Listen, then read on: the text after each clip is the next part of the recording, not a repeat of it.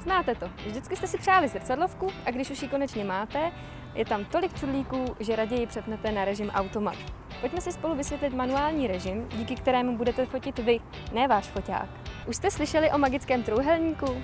Nejedná se však o žádnou záhadu z Bermud, ale o takzvaný expoziční trouhelník. Slona, ISO, čas. To jsou hodnoty, které najdete na vašem foťáku jakékoliv značky. S clonou souvisí hloubka ostrosti. Díky ní docílíte efektu, kdy máte zaostřený předmět vepředu a rozostřené pozadí vzadu.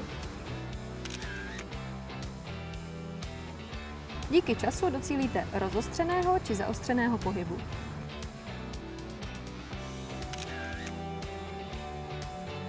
Citlivost při pořízení fotky. Při zvýšení hodnoty můžeme za stejných podmínek použít kratší čas. Čip ve fotoaparátu tedy dostane pokyn, aby reagoval citlivěji na světlo. Chcete fotit v pološeru, ale fotka je rozmazaná. Navyšte ISO.